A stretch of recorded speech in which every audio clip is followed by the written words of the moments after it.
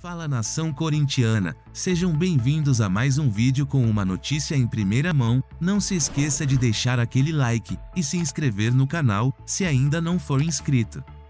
Fique até o final do vídeo, tem um presente top para você. Bora pro vídeo.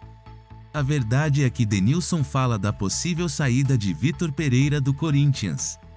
O Corinthians foi eliminado da Copa Libertadores e foi derrotado em uma disputa direta pelo Brasileirão, então surgiram dúvidas sobre a permanência de Vitor Pereira de se manter no comando do Corinthians. O treinador foi criticado pelo seguinte desempenho que sua equipe apresentou, levando o treinador a ser questionado por medo de perder o cargo.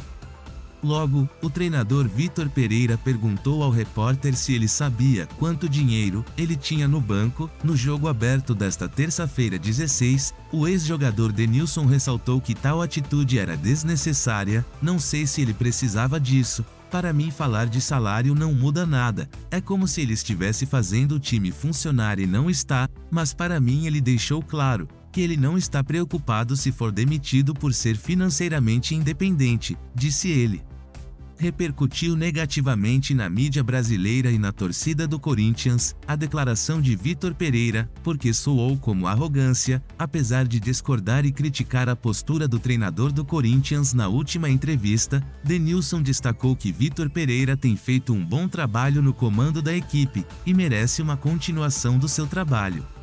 Não sou a favor de mandar o treinador embora. Vitor Pereira está desenvolvendo o time do Corinthians. Eu não esperava o Corinthians lá em cima da tabela do brasileiro. Em seguida, os principais jogadores chegaram. A verdade é que esses jogadores não teve tanto tempo para jogarem. Renato Augusto se machucou e Fagner ficou sem jogar ele ficou sem jogadores importante, mas o Corinthians liderou a tabela apesar disso, no geral, Vitor Pereira está fazendo um bom trabalho disse Denilson.